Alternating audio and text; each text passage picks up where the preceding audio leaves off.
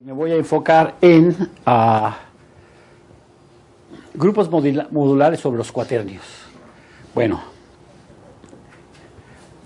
el grupo modular es uno de los objetos más bellos que existe en la matemática. Todos hemos estado enamorados de él. Conectado con toda la matemática, con la teoría de números, con la topología, con muchas cosas. Entonces, ese de hecho fue inventado por Gauss y es eh, una, un tema fascinante de las matemáticas. Y Gauss realmente lo hace para estudiar formas cuadráticas sobre los enteros.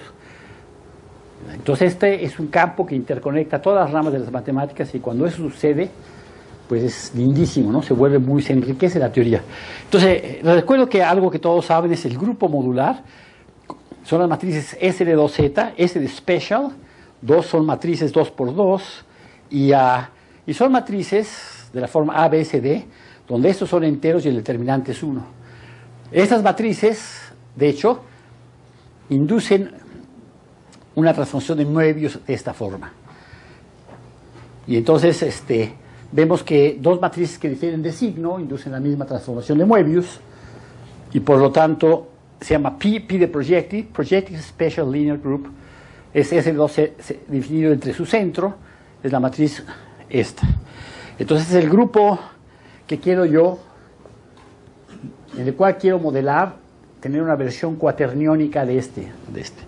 Ah, quiero de- decirles antes de esto, que ya lo que, que pueden ustedes sin versión este, pantalla, que si quieren consultar este material se encuentra en este visión completa, pantalla completa. Eso. Ah, en este, está ya el artículo, está en Archive y lo pueden, lo pueden, lo pueden ver. Bueno, ahora regreso. Bueno, el grupo modular se puede demostrar fácilmente que está generado por dos transformaciones. Una traslación, bueno, el, ah, el universo en el cual vamos a trabajar es el, el hemiplano superior, el plano hiperbólico provisto de la métrica de Poincaré, que es esta métrica conforme, y sabemos que el grupo de isometrías eh, que preservan la orientación de esta métrica es el grupo PSL2R. Son transformaciones de Möbius AZ más B sobre CZ más D, A, B, C y D reales, determinante 1, y ah, el grupo modular es un subgrupo de este, y está generado por estas, estas dos cosas. Entonces, esta, z va menos 1 menos z, es, preserva el hemiplano superior. Aquí hay un punto privilegiado i, y esto es una rotación de ángulo 180, una rotación hiperbólica de ángulo, de ángulo pi en torno de este punto. Y la otra transformación aquí, z va z más 1, es una traslación muy fácil, ¿no? Unidad, por unidad. Y estos dos generan el grupo modular. Yo me acuerdo cuando estábamos trabajando en esta cosa que en realidad no es sorprendente porque hay un teorema que dice que toda matriz es el producto de matrices elementales y entonces toda matriz entera es producto de matrices elementales. Entonces no es tan difícil en realidad este teorema, es un teorema de álgebra. Y eh, entonces observen que, que, que, que estos dos generan, eh, generan este grupo y de hecho este, geométricamente T es una inversión y S es una traslación, pero luego este, si tomamos S seguido de T es un elemento de orden 3 y de hecho algo maravilloso que pasa es que si esta es la raíz primitiva de la unidad, esto es una rotación de ángulo 2 pi entre 3 en torno de este punto y, y- z va a menos 1 z es una rotación de ángulo pi. Entonces maravilloso, yo me acuerdo que aprendí de Tien Gis, les dejo ejercicio un torito siguiente. Tomen dos puntos en el hemiplano superior. Un punto z1 y z2. Y tomen una rotación hiperbólica de ángulo pi y una rotación hiperbólica acá de ángulo 2 pi entre 3 y tomen el grupo generado por esos dos. Entonces el problema consiste en ver lo siguiente. Si esta distancia hiperbólica es mayor que esta distancia, esta es omega, raíz primitiva cúbica, esta es la distancia hiperbólica de, si esta distancia es de, el grupo generado por S es el grupo modular, es fácil porque se los llevan ahí ya. Si S es mayor que que D, entonces es un grupo discreto, pero de volumen infinito, no es este, el, el es de volumen infinito. Y si es menor, el grupo no es discreto. Ese es muy ilustrativo, lo aprendí de Tien y me gusta mucho porque indica, bueno, pero el caso es que tiene, entonces el grupo modular tiene dos nuevos generadores, T y T por S, uno de orden 2 y otro de orden 3, y de hecho estos dos generadores se puede demostrar que el grupo modular es el producto libre de Z2 con Z3. Y estos son los generadores, este es el grupo, tiene dos generadores, T y TS, y satisfacen esas únicas relaciones, lo cual quiere decir que como grupo, el grupo modular es el grupo de orden 2, producto libre, el grupo de orden 3. Es un grupo muy bonito. si son topólogos de dimensión 3, es el, es el, grupo fundamental de la suma conexa del espacio proyectivo con el espacio lente L3. No sirve para nada excepto para divertirse, pero sí sirve para un ejemplo que me dio Fico. Este suma con... Bueno, estoy saliendo, a veces me voy a salir de la partitura de vez en cuando, ¿ok? Es mi manera de, de dar conferencias. No va. Entonces, este, si toman el proyectivo suma conexa, este, el espacio lente L13, es maravilloso. Con esto me enseñó Fico que hay un grupo, que hay una variedad cuyo segundo grupo de homotopía es infinitamente generado. Porque si toman el recubrimiento universal de esto, van a ver que es... Y fue un ejemplo bellísimo que me encantó, entonces por eso te los doy. Y ahora regreso, entonces esto que ven aquí es la teselación, el mosaicado canónico de el grupo modular, y esta aparece, por ejemplo, en la portada del libro de Alfors, que todo el mundo debe tener, y aquí se ve que el dominio fundamental, un dominio fundamental, está hecho de la forma siguiente, es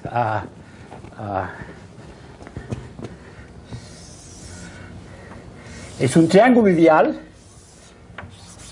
va a un triángulo con dos vértices eh, no ideales y un vértice ideal de área este, pi entre 3 y este este que es este, este, este que está aquí si lo propagan con el grupo modular les tesela el plano y es este y es algo bellísimo y esto está conectado con miles de cosas de matemáticas.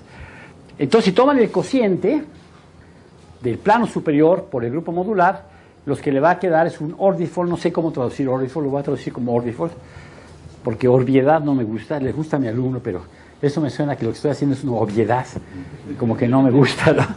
Entonces, este orbifold, lo que le queda, pues, muy fácil porque este se pega con este, con traslación por 1, y este intervalito se pega con este, con rotación de 180 grados, y lo que queda es un objeto extraordinario, que es algo que se ve así como la pseudoesfera, al infinito se ve como la, el sombrero de bruja, y tiene dos puntos, dos puntos cónicos de ángulo este, pi y 2 pi entre 3, y es un objeto extraordinario.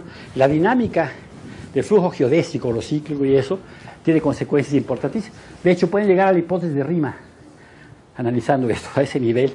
Y esto, este, este orbifold, lo que es el espacio de móduli, this is the moduli space of elliptic curves. Once in a while I translate, not for, for this is the moduli space of elliptic curves. Uh, y eso es importante. Bueno, pero ahora lo que queremos ir al ámbito, al ámbito cuaterniónico. No sé si se dice cuaternio o cuaternión. Voy a decir como yo quiero, cuaterniónico. Entonces, H, bueno, aquí hay un problema. Es el problema de las H. Resulta que, resulta que los de cuaternio se robaron la H de hiperbólico. Y resulta que también, en este artículo, pues vamos a hablar de Hurwitz, de Hamilton, de cuaternios, de hiperbólico, y entonces nos lleva el tren porque no sabemos qué H usar, ¿verdad? Pero vamos a usar esta H, Blackboard H, para denotar los cuaternios. Entonces los cuaternios es R4 provisto con la estructura de álgebra, que todos sabemos, con tres unidades imaginarias, y JK, que anticonmutan y cuyo cuadrado es menos la identidad. Tres unidades complejas, digamos así. Y con esto fabricamos los cuaternios que todo el mundo debió haber visto ya en su, clase de, álgebra. Y es eh, un objeto muy, muy importante. De hecho, Hamilton consideró que era su mejor, este, bueno, no era escocés, era de hecho irlandés. Él, este, pero son, son grandes inventores, tanto los escoceses como los irlandeses. Y entonces este, Hamilton consideró que este era su mejor invento, ¿no? Hamilton Jacobi, la ecuación de Hamilton como que era, está bien, pero no, esto era para él la grande y, y, todo estudiante que se precie, como nosotros, yo sigo siendo estudiante, nos encanta hacer funciones de una variable cuaterniónica.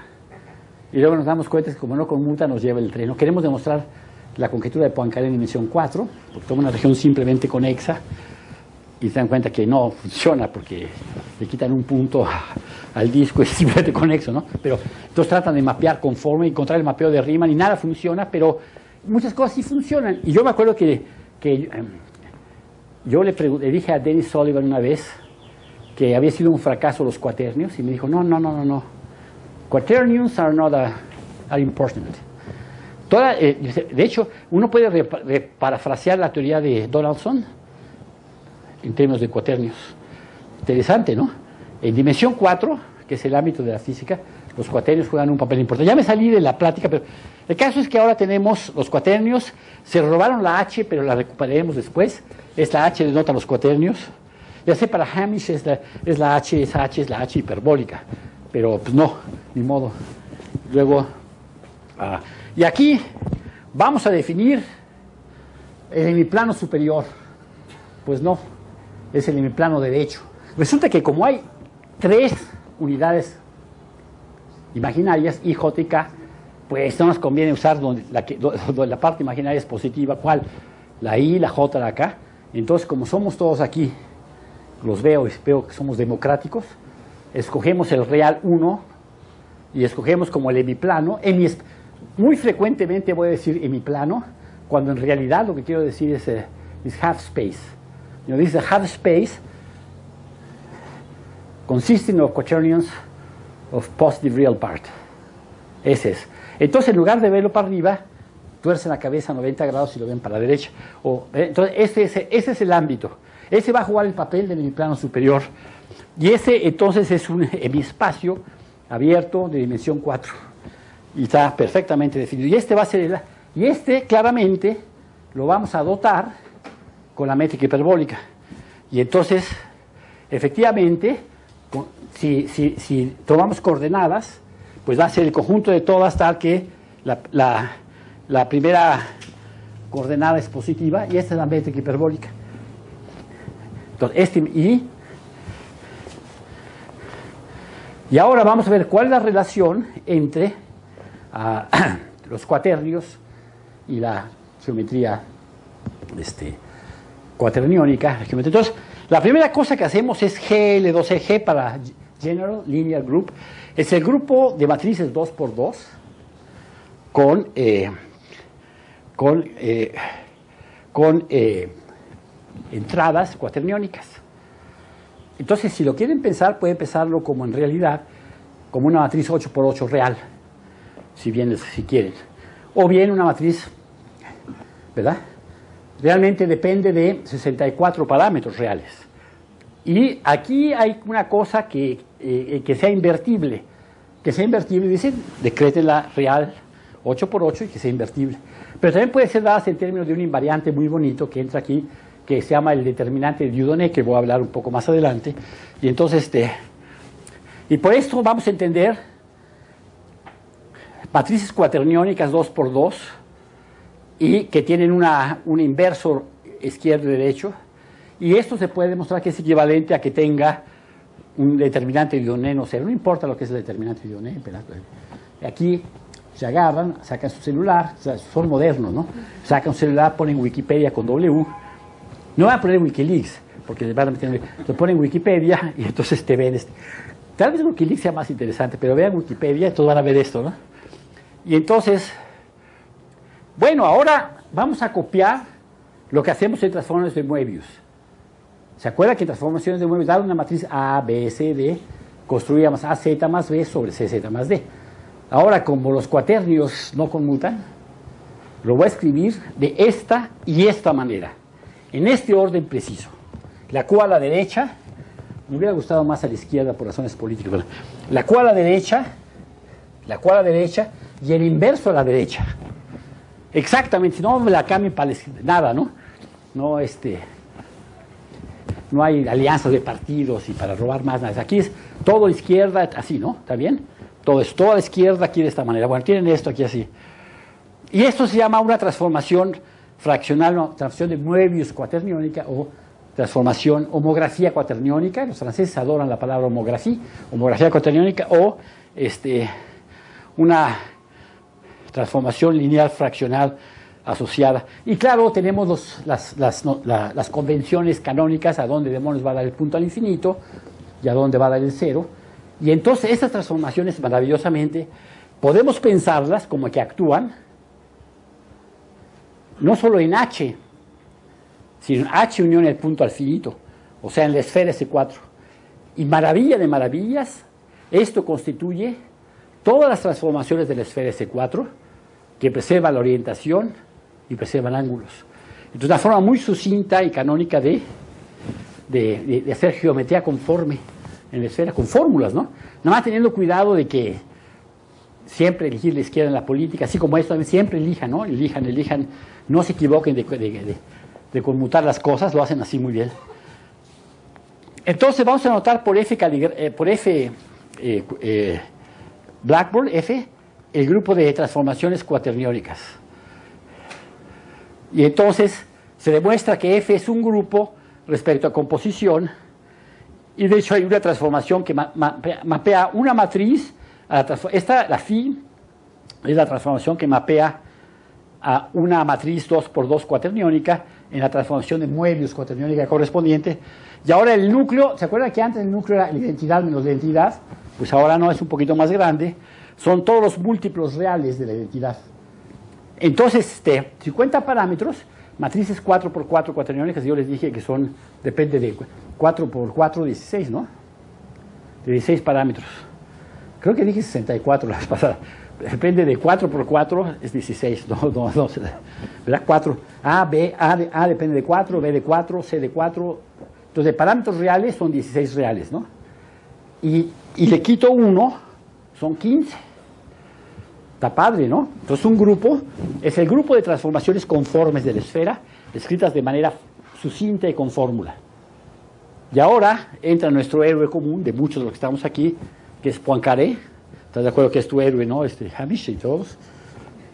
El que no sea su héroe, este, van a ver lo que les pasa. no, bueno. Entonces van por favor a la sala de Hilbert, está la otra. No. bueno, entonces le quitamos una, entonces el número de parámetros de que depende esto va a ser 15. Y ahora hay un teorema de nuestro héroe, y regreso a nuestro héroe, dice que toda transformación conforme de la esfera se extiende a una geometría del disco de Poincaré de dimensión 5. Entonces la esfera S4, la esfera unidad en S5, es frontera del disco de dimensión 5 con la métrica de Poincaré. Y hay un teorema, y es el teorema muy sencillo porque todas estas transformaciones en S4 en realidad son composiciones de inversiones en esferas de dimensión 3. Y entonces usando eso, el teorema de extensión de Poincaré, algo muy canónico, extiende. Y entonces decir que este grupo maravilloso cuaterniónico es simultáneamente dos cosas. El grupo, el grupo de transformaciones conformes de la esfera que preserva la orientación y el grupo de isometrías directas del espacio hiperbólico de dimensión 5. Está lindo, ¿no? Cuando digo, cuando pueden hacer una, unir dos ramas de las matemáticas, se enriquece lo que están haciendo. Es un teorema para los jóvenes que están aquí. Entonces, este, para nosotros los jóvenes nos conviene saber eso, ¿no? Entonces tenemos esto, y entonces, eh, bueno, y ahora vamos a ver entonces, este, este es el grupo de transformaciones conformes que, que preserva la esfera, dimensión 4. Y aquí vamos a ver subgrupos, por ejemplo, aquellos que preservan una bola redonda, es el caso fucsiano, aquellos que preservan un hemiespacio, que es una bola también, aquellos que preservan, etcétera, ¿no? Entonces tomamos la bola unitaria en... Entonces H juega el papel de C, son los complejos, nada más que ahora es un campo no conmutativo. pero entonces hacen un ping-pong de C a H para hacer analogías mentales. Entonces tenemos H, ahí tenemos la bola unitaria, y quiero ver las transformaciones que preservan la bola unitaria. Entonces, como llevamos variable compleja nosotros, vimos que toda isometría, toda isometría de... Entonces, esto es ahora C, y tomo el disco unitario, llamado delta, son los complejos de módulo 1, de módulo menor que 1. Nosotros aprendimos del ARFOS que las transformaciones de la forma t de z igual a e a la i teta sobre z menos a sobre 1 menos a barra z con módulo de a menor que 1 y teta real constituye todas las isometrías hiperbólicas del disco. Depende de tres parámetros, teta real, que es un círculo, porque debe ser periódico, y un punto A en el círculo unitario. Esto ya demuestra, de hecho, que S de 2R, que PS de 2R es un toro sólido. Ya lo parametrizamos, que es un ejercicio bonito también. Y esta es una forma muy bonita, ¿no? De ver todas las transformaciones de Möbius que preservan el disco son de esta forma. La matriz asociada es la IT, ya no la escribo yo, pasa de la de Möbius a esa. Y entonces nos preguntamos cómo demonios se da la expresión cuaterniónica de esa. Y a mí me dio mucho gusto que antes de hacer este artículo, yo descubrí cuando era chiquito, chiquito quiere decir este, menor de 30 años, es que eso se va volviendo relativo, ¿no? Entonces, este, ¿cómo, se, cómo, ¿cómo copiar esta fórmula? Y la fórmula es muy bonita, miren, es esta fórmula que ven aquí. Esto aquí así es un complejo de módulo 1. Fíjense, la misma fórmula, el Q0 es el A. Nada más que cuidado con la izquierda, cuidado con la derecha. Escríbalo exactamente así. Y en lugar de tener un solo E a la I teta, tengo un, una unidad a la, izquierda, un elemento de S3 a la izquierda y un elemento de S3 a la derecha. Le vamos a ocultar parámetros. U, chin. Ya me equivoqué. Este, V depende de tres parámetros reales, un elemento en la esfera unidad de dimensión 3. U Depende de tres parámetros. Entonces 3 y 3 son 6. Y Q en el disco de dimensión 4. Entonces son 10 parámetros. Ah, pero estas son las isometrías del disco de dimensión 4. Vamos a calcular la dimensión, las isometrías hiperbólicas del disco de Poincaré de dimensión 4. Muy fácil. El grupo de isometrías actúa transitivamente en los puntos y en los marcos de referencia. Dado un marco de referencia, ¿no? Cuatro marco ortonormal y otro cuatro marco ortonormal, hay una y solo una isometría que lleva este punto en este y el marco anclado aquí en el siguiente. Pues entonces va a ser de dimensión, el punto donde está anclado depende de cuatro parámetros y el framing es SO4. SO4 tiene dimensión 6. como demuestran eso así? Rápido, porque SO4 fibra sobre, sobre S3 con fibra SO3 SO3 es P3, bueno, en fin, un calculito mental rápido. Entonces son 6 y 4, 10. Exactamente, todo está correcto. Es una manera de demostrar que esas son todas las geometrías, contando parámetros. Que es algo que también los jóvenes deben aprender. Dice, yo puedo hacer esto, y, y cuentas que el número de parámetros para hacerlo es este, más grande que lo que está diciendo el cuate, pues ya le ganaste, no siempre se puede. En fin. Pero ahora el disco está provisto con la métrica de Poincaré del disco, que es esta. ¿Se acuerdan de cuatro valorados? Eh, lo único que hice aquí es cambiar Q por Z. Y mucho cuidado con la conmutación. Y eso, que parece trivial, es bastante difícil. Entonces quiere decir que encontramos ya todas las isometrías del disco y todo lo hicimos de forma cuaterniónica. Está bonito, ¿no? Bueno, y entonces tenemos que el grupo de transformaciones de Möbius que escribí antes es el grupo de isometrías del disco de Poincaré, ya escrito en forma sucinta y con fórmula. Bueno, y como sabemos muy bien, podemos pasar del mi plano superior al disco vía la transformación de Cayley. Así. Y el análogo de transformación de Cayley en esto es esto. Es la misma fórmula, excepto que en lugar de I, digo, lo hace muy fácil. Y Cayley, por cierto, no era ni escocés ni irlandés, era inglés. ¿O qué era Cayley? ¿Cómo? ¿Era qué? ¿Griego? en inglés, ¿verdad? Ese no creo que era irlandés. Estamos aquí con un escocés, por eso estoy diciendo, como mi esposa también es escocesa, me caen bien los escoceses, pues al ratito vamos a hablar de Maxwell. ah, sí, ¿verdad? Bueno, pero era matemáticas que nunca van a acabar, nunca van a acabar de leer las obras de Cayley completas, ni lo intenten. Las de Euler, menos. Pero bueno, ya no importa, ¿no? Las mías las van a leer en una semana. Pero bueno, pero, no les va a servir para nada. Pero bueno, en fin. Entonces aquí está.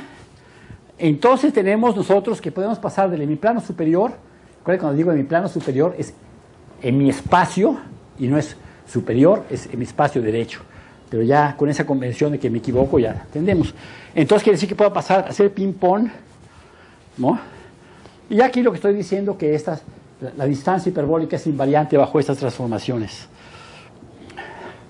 Entonces ahora queremos ver cómo demonios son las transformaciones de Moebius, de la esfera, que preservan el hemiplano superior. Bueno, nosotros sabemos en el caso complejo que aquellas que preservan el hemiplano superior son PSL2R.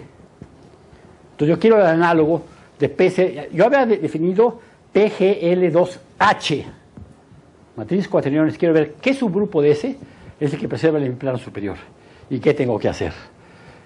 Entonces aquí hay una historia muy interesante. Entonces, según la historia que cuenta Alfors, V de Valerian Alfors, fue Carl Theodor Wallen que introdujo en 1901 la idea de usar números de Clifford, es otro gran inglés, números de Clifford, ese fue inglés también, números de Clifford para definir transformaciones de Moebius usando matrices 2x2.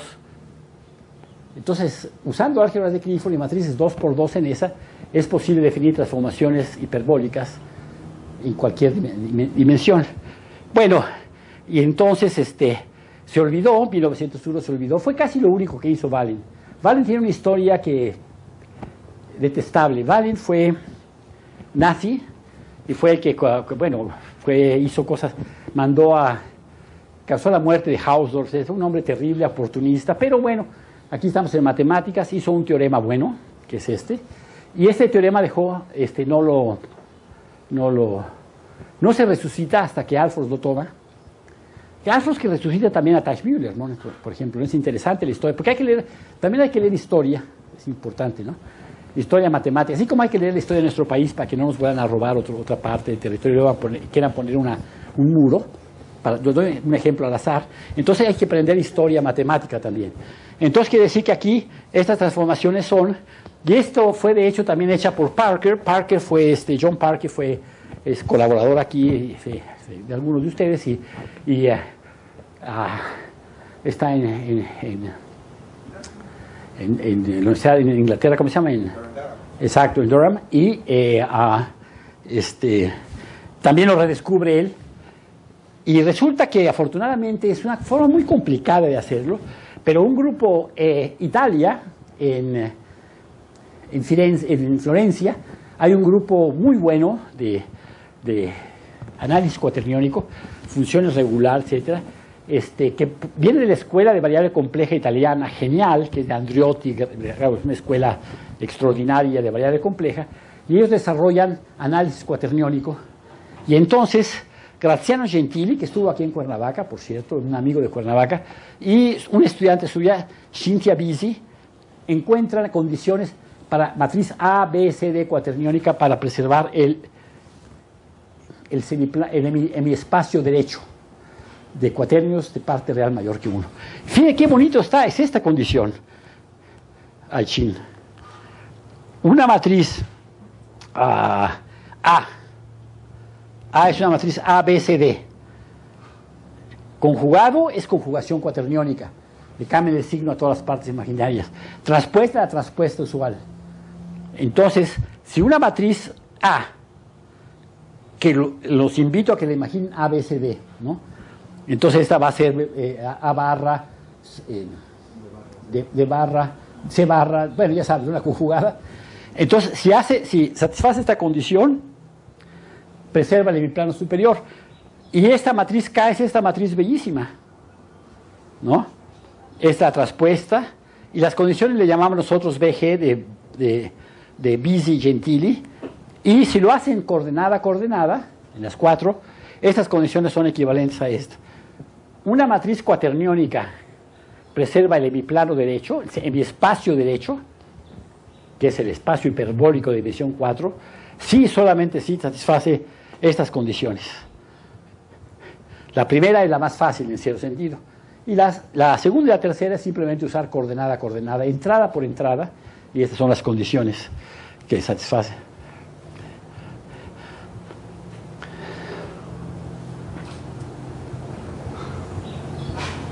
Y este grupo preserva la frontera del hemiplano superior.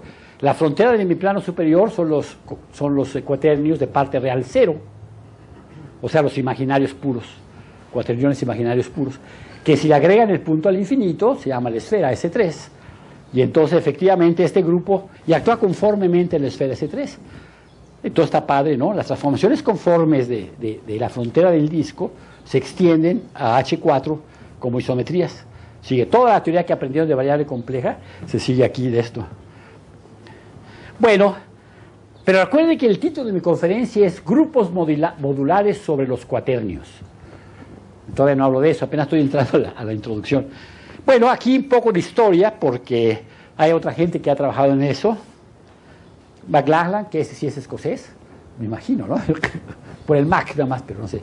Uh, Waterman, Willenberg, Johnson, Rice, y Ruth Keller es una matemática alemana también.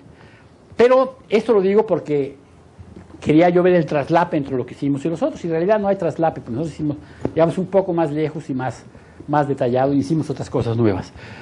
Bueno, entonces ahora, si lo que quiero encontrar yo es una generalización de PSL2Z, lo importante es qué demonios es Z en el ámbito cuaterniónico, ¿no?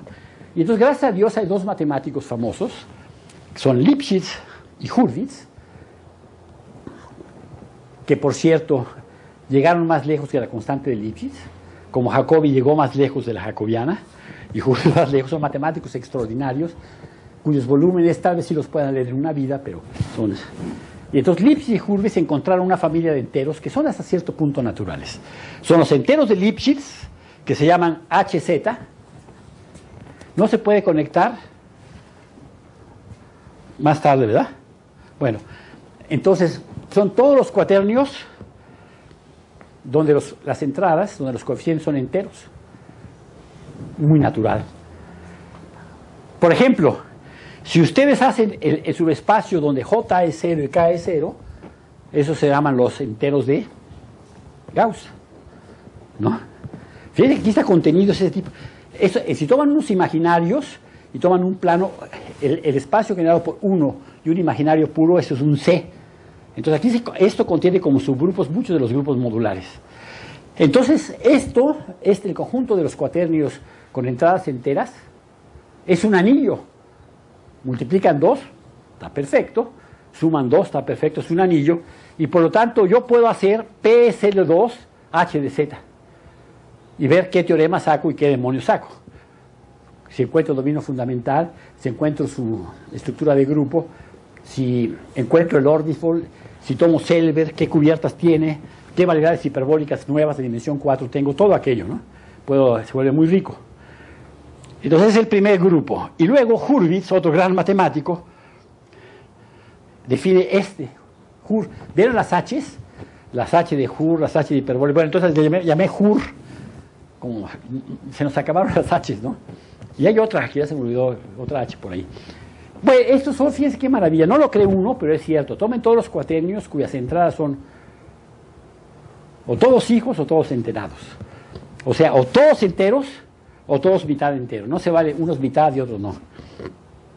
Teorema bellísimo, esto es cerrado por multiplicación. Yo no lo creía ¿eh? hasta que hicimos el cálculo.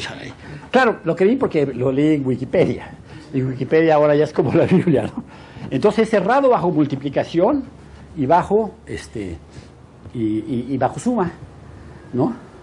Por ejemplo, dos medios enteros les dan enteros, ¿no? Medios por medios da, bueno, hagan el ejercicio, no es completamente trivial, pero es cierto. Entonces tienen aquí así esto. Y entonces voy a, voy a, voy a, voy a tener dos, dos este, PSL2H de Z y PC2 HUR.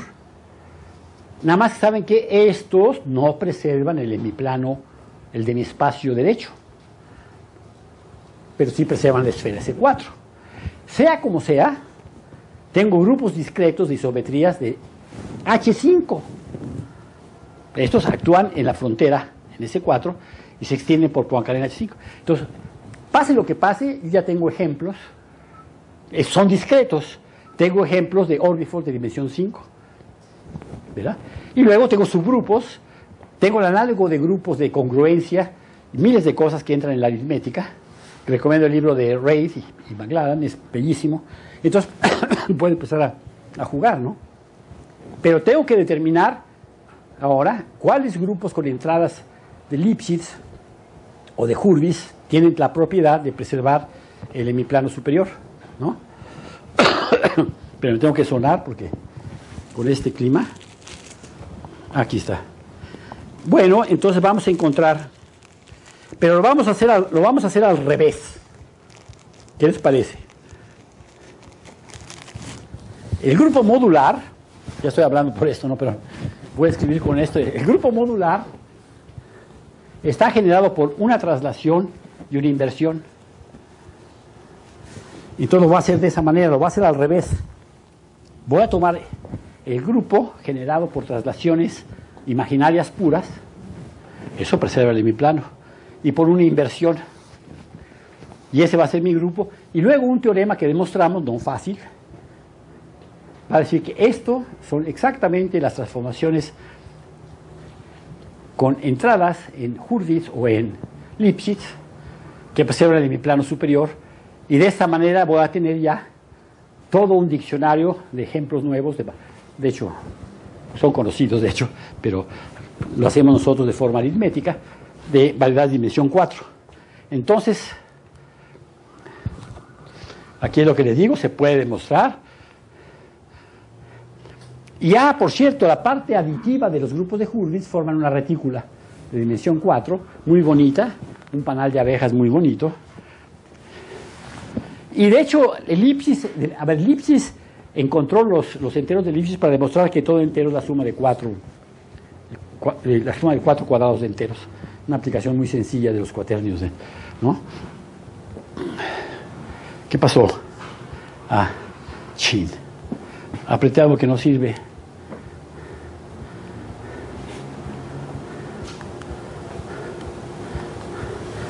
Bueno,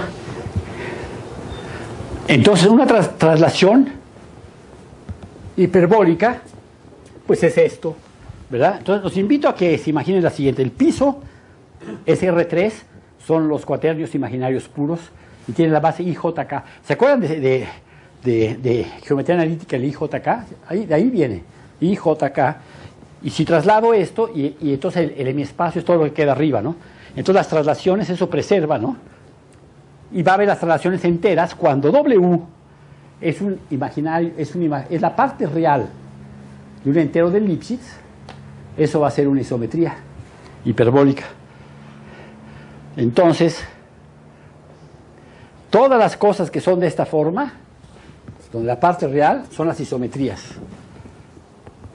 Pero aquellas que tienen entradas enteras, pues cuando, cuando omega es de la forma AI más BJ más CK, A, B, S de son enteros. Esas son las traslaciones. Este es el análogo de, ¿se acuerdan de Z va a Z más 1 en el modular? Ahora tengo 3. ¿No? Bueno, y también podemos hacerlo para, para, los enteros de elipsis. Trasladamos por la parte imaginaria de un entero de Hurwitz. ¿No? Y ahora ya está más complicada la cosa, es una retícula medio chueca. No hexagonal, pero chueca. Bueno, aquí es nada más una definición, los cuaternios imaginarios, ya les dije lo que es, el piso, ¿no? son de esa cosa. Y entonces tenemos un grupo que son las traslaciones de este estilo, va, voy rápido. El grupo de traslaciones actúa libremente. ¿Y qué es el cociente? Pues va a ser el toro T3 por R. Va a tener, un, pero, va, atención, tiene una punta que es de volumen infinito, una cúspide, y una punta que es una trompeta dimensión infinita. T3 por, por R más, pero una trompeta, ¿no? El toro explota cuando vas hacia abajo y, tiende a cero cuando va hacia arriba. Es la, el, sombrero de bruja. No más que ahora el círculo del sombrero de bruja, la, la, pseudoesfera, que se convirtió en un toro, ¿no? Pero este es, este es una, bueno, es una variedad no compacta, pero es bonita, ¿no? Ah, bueno, este, aquí estoy nada más, estoy diciendo cómo es el grupo, es Z más Z más Z, y un, dominio fundamental lo encuentras, muy fácil, se ve como un cubo. A ver, en, el, eje imaginario puro, que es un R3, toma el cubo de radio 1 centrado en el origen y toma la chimenea arriba de eso, es el dominio fundamental, es muy fácil de verlo. Ah, y ahora viene, ¿se acuerdan? Z va a menos 1 entre Z, era una rotación de ángulo pi en i. ¿Cuál es el análogo de este? Ahora es más bonito, es simplemente inversión. La transformación Q va al inverso, y el inverso cuaterniónico se escribe así, Q barra, Q. Este es bellísimo, este deja invariante el punto I, ahora el punto 1 juega el papel de I, en mi plano derecho, ¿no? Entonces, pero véanlo, no lo vean así porque se les va a dar tortícolis, véanlo para arriba, ¿no? Entonces toman el punto I y esto lo que es es una rotación antipodal, hiperbólica, en términos, en, en, torno ahí. Tiene un solo punto fijo, es el origen, y toda geodésica hiperbólica que pasa por allí se invierte, va a su negativa. Ese es el análogo. Y, y eso nos va a servir para definir el grupo de Lipschitz, que es el primer ejemplo del grupo modular, va a estar generado por las tres traslaciones imaginarias puras enteras y esta inversión. Entonces lo dice al revés y luego un teorema va a decir que estas son las transformaciones de Moebius con entradas lipschitzianas y que preservan H. Lo decimos al revés porque no, supimos cómo hacerlo algebraicamente. Tal vez se pueda hacer, pero no pudimos hacerlo Entonces, fíjense que la K, que servía para las condiciones de, de, de es la misma. Es la matriz que corresponde a esta la, transformación de Moebius asociada a Q a Q menos 1 es esta. Bueno,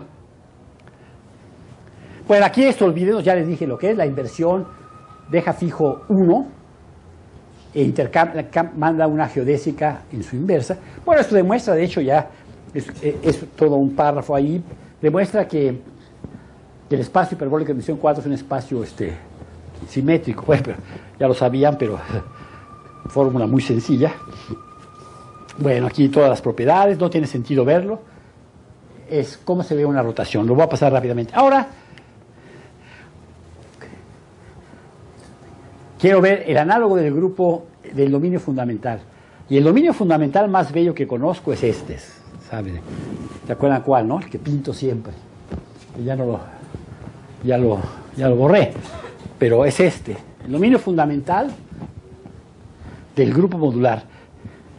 ¿Y cuál será el dominio fundamental del grupo generado por traslaciones? Y vean esto, es completa análogo. Esta chimenea aquí es el, dominio fundamental del grupo generado por las tres traslaciones enteras, cuyo cociente da el toro por R. Y esto acá es maravilloso. Esto, si proyectan esta chimenea, e, e, esta cosa color ocre es este R3 son los cuaternios de parte real cero. Y entonces eh, aquí meto el cubo unitario y tomo esta chimenea, ¿no? Es el análogo de esto, ¿no? Fíjense que esto de aquí es padrísimo, porque esto es un poliedro de dimensión 4, convexo, tiene, me permite llamarle el iglú a la hemisfera, esta hemisfera de radio 1 centrada en cero, semiesfera, lo voy a llamar el iglú por razones obvias, parece un iglú, y, estoy considerando todo lo que queda arriba del iglú y cuatro paredes. Bueno, de hecho no son cuatro paredes, son seis paredes, porque proviene del cubo de abajo. El cubo de abajo tiene, tiene, un cubo tiene seis caras y encima de cada cara mete una pared, ¿no? Entonces este es un dibujo, ¿cómo se llama? Esquemático, ¿no? En realidad. Y es fácil ver que los ángulos diédricos formados por estas caras forman, son múltiplos racionales de pi lo cual dice otro teorema de nuestro héroe, Poincaré, que dice que todo el grupo generado por reflexiones en esto, esto te cela. ¿Verdad? Nada más que hay el pequeño problema de que si invierto, no preserva orientación, pero toma el grupo de orden 2 generado por inversiones, ¿no? El caso es que de esta manera obtengo de una manera muy bonita un orbifold y propiedades ¿no? de este orbifold. Obtengo eh, el análogo del orbifold modular que pinté aquí va a ser este. Pero dijimos, este no preserva orientación. Y quiero tomar el grupo que consiste en reflexiones, en, un número par de reflexiones en las caras. Y entonces el dominio fundamental va a ser este nuevo. Le tengo, esta es la pirámide hacia arriba, y si invierto, esto se va hacia adentro, el pico de arriba se para el pico. Y ahora este sí es un dominio fundamental de un grupo de isometrías hiperbólicas que sí preserva orientación. Entonces, un segundo ejemplo. Bueno, bueno, aquí se acuerda que el grupo modular estaba originalmente generado por z más z más 1 y luego yo puse ts y había esta relación. ¿No? Traslado y roto. Y quiero ver el análogo de ese. Entonces ahora, pues es natural aquí, traslado, ay chin, traslado e invierto. Pero puedo primero invertir, esta, este es Q a Q menos 1, ¿verdad?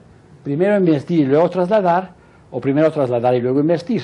Entonces por eso left and right, L, left, right, son, es el análogo de aquellas cosas. Y ahora, miren qué maravilla, de pronto estas cosas tienen orden 6, orden 4, orden, empieza, o sea, ya no va a ser el grupo fundamental, ya no va a ser Z2 producto libre Z3, sino va a tener elementos de orden 6, elementos de orden 4, y va a tener, hay teoremas que dicen, cuando tienes un poliedro identificas caras como es su grupo, ¿no? Entonces, este va a ser la, va a tener elementos de orden finito este grupo. Y bueno, entonces si toma el cociente va a tener singularidades. Pero hay un teorema maravilloso de Selberg, de Atlas Selberg, que dice que siempre hay un subgrupo de índice finito, donde el grupo ya actúa libremente y ya no tiene torsión. Y entonces pasamos de orbifolds a variedades de volumen finito. Y, son ejemplos de variedades. Bueno, entonces este, esta es la estructura de, de la tabla. Y vemos que el orden depende de la unidad con la que trasladas.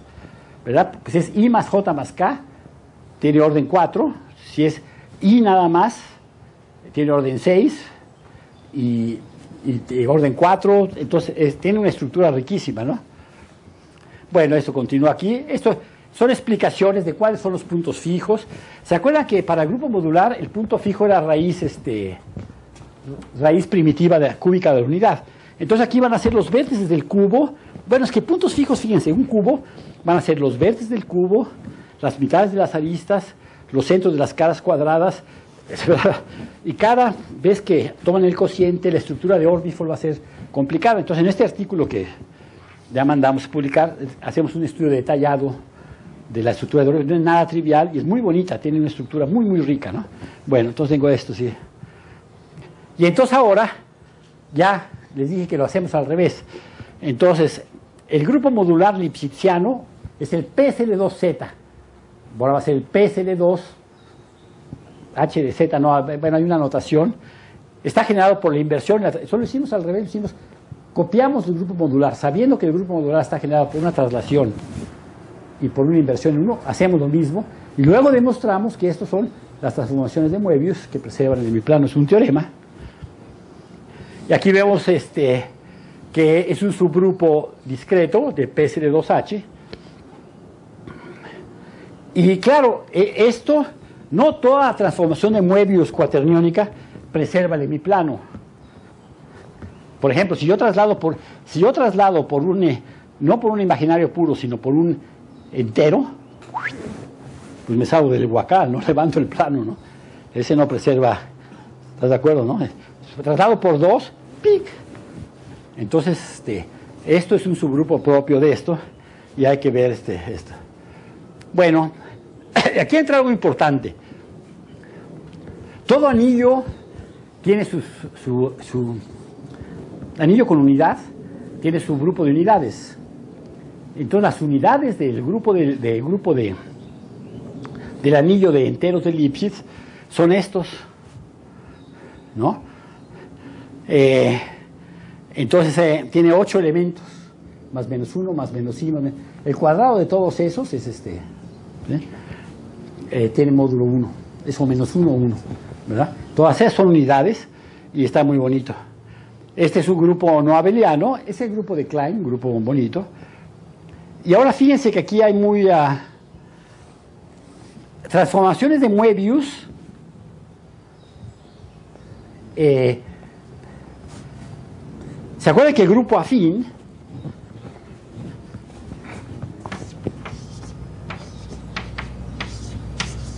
En, P, en PSB2R, el grupo afín son matrices. Este tiene determinante 1 y eso es el grupo afín, ¿no? Entonces aquí, ¿cuál sería el grupo afín? Pues, bueno, pues entonces empezamos a ver matrices de este tipo donde U es una unidad y este es un subgrupo de transformación. Esto son las isometrías del cubo, de hecho. ¿Sí? Tiene orden 8. Y esto quiere decir que el dominio fundamental que creíamos que era esa chimenea no va a ser porque hay elementos ahí que, lo, que actúan todavía. Entonces va a haber una- un dominio fundamental de Coxter más chiquito que va a estar allí. Lo vamos a tener que subdividir. Bueno, entonces tenemos las unidades. Bueno, aquí esto es nada más ver cómo, cómo actúa la cosa. Pero ahora es muy interesante porque ahora hay, hay un grupo afín, no trivial, que son de la de la forma este, UUB, donde U es unidad y B es una, una unidad de Lipschitz. Y entonces es el grupo, es el grupo que preserva, es el grupo que preserva una oro- oro- oroesfera que toca al infinito. O sea, un R3 horizontal, un trasladado del eje imaginario a altura 1, que pasa por el punto 1. Quiero ver cuál preserva eso. En el grupo modular solamente Z va a Z más 1. O sea, lo que preserva, si este es el plano superior, el que preserva, y esto es I, el que preserva esta recta es nada más estas traslaciones. Pero en el caso, este, en el caso cuaterniónico, el que preserva parte real de Q igual a 1 es un grupo muy interesante, es el grupo, este, y, si lo queremos li- lipschitziano, es el grupo UUB, U unidad y B. Entonces ahí vemos que es muy rica la estructura, tenemos nuevas, son de esta forma. Tenemos que ponerlo así para que sea satisfaga las condiciones de las transformaciones de ese tipo son las transformaciones lipschitzianas, modulares lipschitzianas, que preservan el orosfera de radio de Q igual a 1. bueno, aquí un poco más de análisis. Ah, y este es el grupo afín general. Bueno, aquí eso va- voy un poco más arriba. Eh, vemos la dimensión del grupo, hacemos un análisis, esto voy a pasar tal vez un poco rápido. Déjenme pasarlo rápido. Bueno, ahora podemos hacer lo mismo con Hurwitz, ¿verdad? Son traslaciones por parte imaginaria de un entero de, de Hurwitz y Q. Ese va a ser el grupo. Entonces ya tenemos dos grupos modulares por lo pronto. Obviamente el grupo de elipsis es un grupo de, de índice 3 de el grupo. El grupo de elipsis está contenido en el grupo de Hurwitz. Son cuando todos son enteros. ¿verdad? Y el otro tiene mitad de enteros. Entonces uno es un subgrupo de índice 3 del otro. Entonces vamos a tener un orbifold que es un orbifold de, que cubre en el sentido de orbifold tres veces al otro. Ah, bueno, pero ahora las unidades del grupo de Hurwitz son fabulosas. Sí. ¿Ah, ya se acabó? Voy a la, a la- a la enésima parte, pero no empecé más tarde. No, ¿verdad? Bueno, entonces ya acabé. Entonces voy rápido. Alberto, Alberto, ¿por qué no tomas cinco minutos para concluir? Bueno, ya concluyo.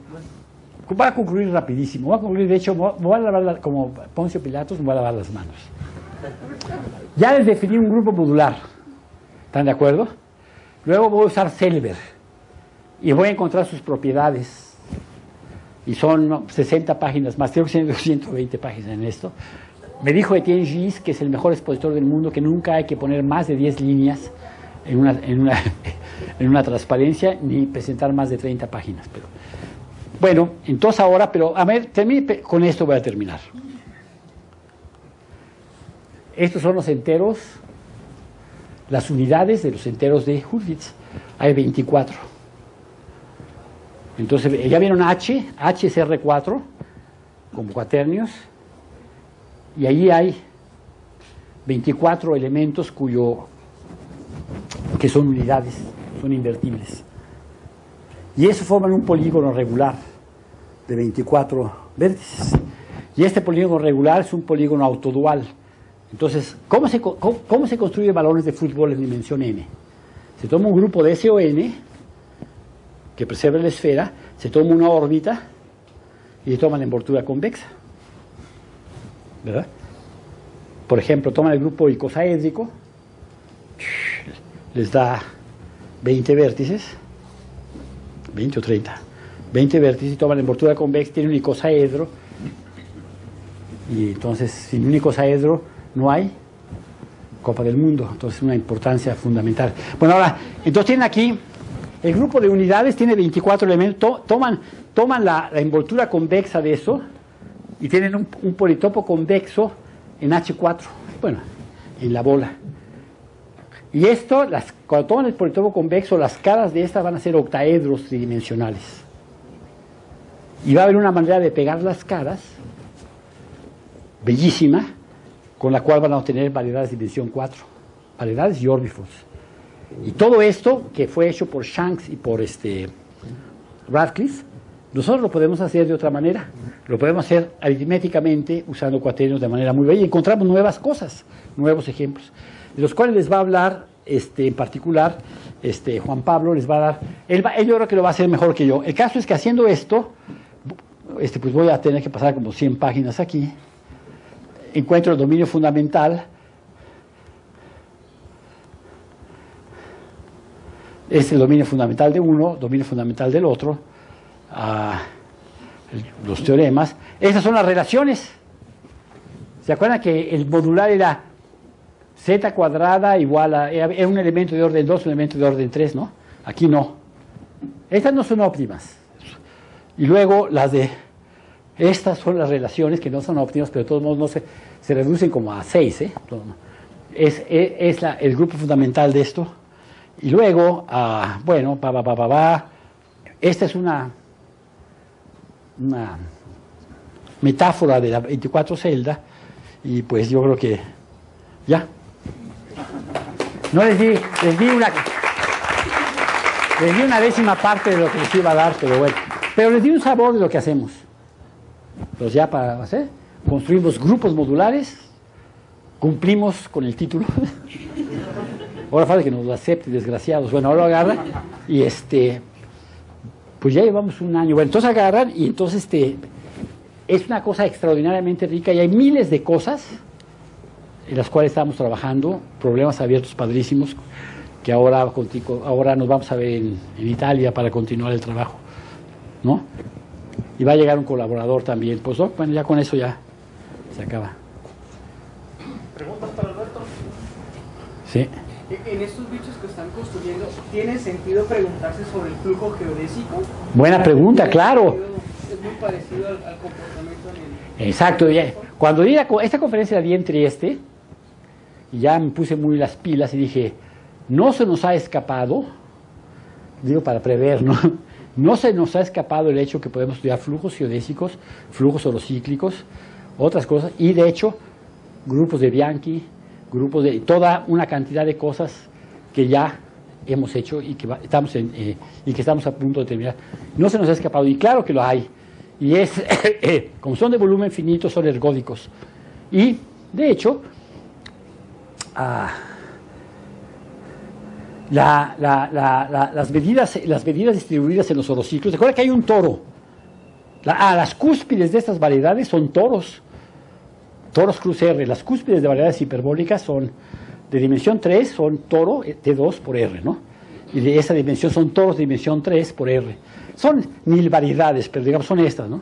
Y estas cúspides, que son sombreros de brujo cuatridimensionales, a estos orociclos, cuando te vas al infinito, el torito Pero cuando tiende a cero, este toro se va volviendo denso, denso, denso, denso, denso, hasta que se vuelve uniformemente distribuido. Y de hecho, este, implica la hipótesis de Riemann para la función z este, multi-z. O sea, en lugar de, de tener n a la s, digo, este, tienes eh, varios n's, ¿no? n1 a la s, cuatro n's, ¿no? Y entonces tiene, tiene que ver, obviamente hay teoremas de teoría, y, sí, exactamente hay teoría de números, hay cíclicos, hay, hay miles de cosas interesantes para, para, para ver. El cálculo de los volúmenes en dimensión 4 es más fácil. En dimensión 3 hay los grandes teoremas de, Jorgensen y Thurston, que los volúmenes forman un conjunto totalmente ordenado, y, los volúmenes son dificilísimos de calcular, ¿no? La fórmula de... Pero en esta, en dimensión 4, gracias a Dios, hay la fórmula de... Tenemos a nuestra disposición la fórmula de Gauss-Bonnet. Entonces, de todas las, todos los volúmenes son múltiplos racionales de... No me acuerdo si pi cuadrada entre... Pero hay una fórmula, ¿no? Y nada más depende de la característica de Euler de Orbifold. O sea, tiene la característica de Orbifold como Orbifold, volumen 32 pi, o pi cuadrada. Entonces, ya es facilísimo. Es puro conteo. Pero sí, tienes razón, buena pregunta eso, pues todos los sistemas de Anosov, que ya sé lo que viene en la mente, todos los sistemas de Anosov y eso se pueden hacer en este contexto. Pero es interesante porque ahora es un contexto aritmético. ¿No? Muy bien. ¿Preguntas para Alberto? No. Nada. Perdonen que, perdonen que les di un décimo de los que les di a hablar, pero bueno, debe haber sido de dos horas la conferencia, pero modo. Este, algunas cosas, este, bueno, disculpen por llegar tarde, tuve varios contratiempos, este último minuto y ya no pude llegar. Por No, no está bien. Este, los que no se han inscrito, por favor, pasen con lista, no por allá, en la otra plataforma para, para que se inscriban, reciban su papete y demás. Y nos vemos en cinco minutos para la práctica de Sergio, en lo que pasamos las cosas. Gracias. Oye, pero no sé, no puedo quitar esto. Disculpas, este, pidieron que hiciera yo un, un pago de último momento en el banco. Pues de así ir ya me imagino, no te preocupes. Y luego había tráfico en el DS. y Mil, mil disculpas por, por llegar tarde y no poder presentarte. Este, Te, mereces una, te, mereces, te mereces una presentación más. Hola, hola. Ah, mira, te presento a Sergio Romaña. ¿Lo conoces? Yo lo he visto. Sí, sí, te he visto ahorita bien, sí te reconozco. Pero Es alumno de Google. Sí, ya sé, pues acá, me acaba de regalar su libro. Está, estuvo ahora, estuvo en, este, en Colombia.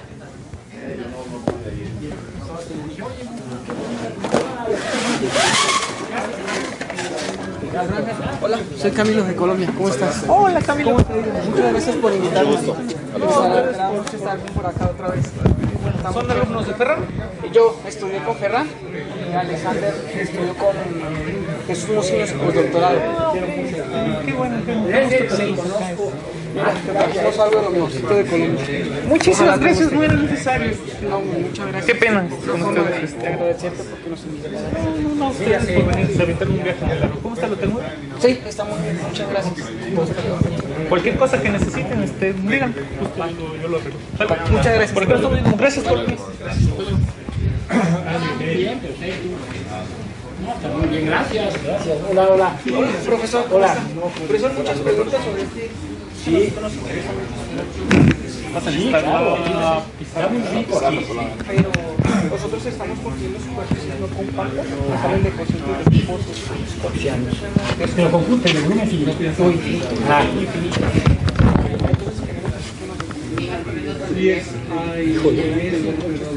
Bueno, hay todos este, los que vemos de, de Drapier ya se conoce, ¿no? De Drapier, se escribe, se escribe Drapier. Es que inscribirse, ¿no? Y yo, yo si Ah, es Colis, yo te llevo, no, no te preocupes. Tú tienes que firmar un montón de papeles por, por lo del boleto. Pero no, no, yo te llevo con calma. Si es Alberto, arroba más cuerpo. Ah, mira, no sé. Salí al baño. ¿Dónde está el baño? Pasar ya. Ah, el baño, sales acá, pasas la sala, y ahí está pasando la sala. Mientras, este, apago este.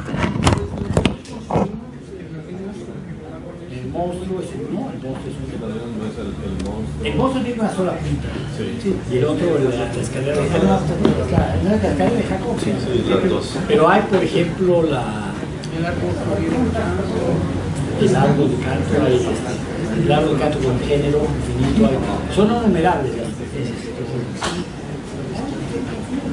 Este, no, sí es interesante, billares en eso es interesante.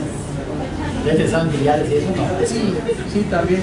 Pero bueno, ¿Dónde están estudiando? ¿Ya, ya terminaron? No, ya terminamos. Sí. ¿sí? Y ahorita estamos interesados es en construir superficies hiperbólicas. ¿Y dónde, dónde estudiaron? Yo estudié con Ferran. Ah, Ferrari. Sí. ¿También no? No, yo estudié con Ernesto Pérez Chávez. Ah, y sí. hice el postdoc con Jesús. Ah, muy bien. Sí, ah, muy bien. Sí, entonces son de los, de los míos. Yo sí, en el sentido, Juan Carey. Tuvo un muchacho, no se van allá, los que no vayan allá contigo. Digo de broma, yo también lo quiero mucho. Este, no está bonito el problema. Creo que no se sabe completamente cuáles son los bólicos. Hay un libro muy bonito de François Dalbo, ¿no sabes? Dalbo, francesa. Bueno, ustedes escriban yo les mando la. Rapí es el que más estudia eso. Por ejemplo, pregunta, ¿cuánto es el bólico? Sí, pues pues lo mismo cuando, cuando- bueno, a lo mejor cuando escuchen nuestra charla nos puedan dar muchos, muchas cosas. Bueno. Porque Jesús nos preguntó exactamente lo mismo bicho. Con las construcciones que están haciendo sus bichos, cuando son ergólicos, cuando Sí. son el sistema pianoso. Claro, claro.